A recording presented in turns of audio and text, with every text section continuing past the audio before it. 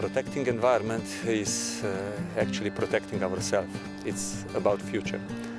It's uh, not only about our future, it's the future of all of us who share this planet Earth.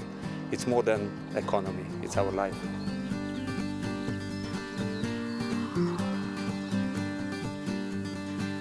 Sometimes we, we say nice words uh, about our children and uh, preservation for the next generation, but if we look uh, to what is happening around us now and, and at this very moment, I think we talk actually about this generation.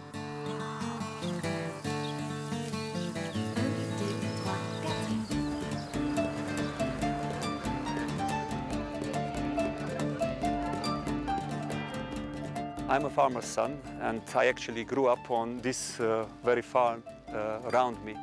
When I was young, uh, this grass was full of grasshoppers, it was full of butterflies, which uh, sadly disappeared.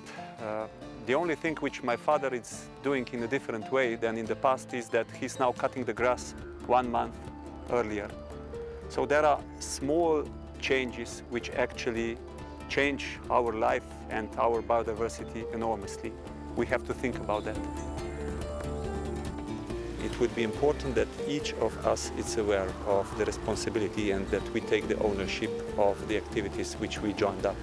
And that is actually uh, greening our economies, greening our life. It's uh, taking responsibility, if you wish, to the things uh, which we are doing on the local level, on the regional level, on European level, but most importantly on the global level.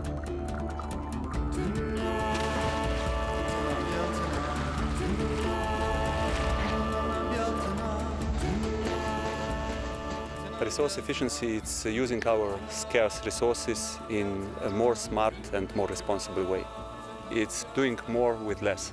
It's not only about energy, which we talk a lot, but also about uh, biodiversity ecosystems, uh, water, when I was uh, economy student, uh, they taught us that water and air are free commodities. It took us only three decades that uh, we understand that these are actually priceless commodities.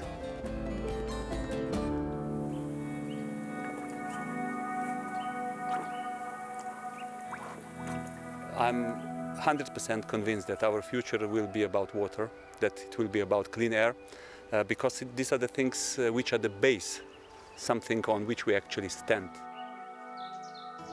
We have missed uh, all possible targets in the past, so I think it's important that we don't redo it in the future. It's pretty obvious uh, we should stop talking and start acting. We have only one Earth to protect and we are all responsible to do it.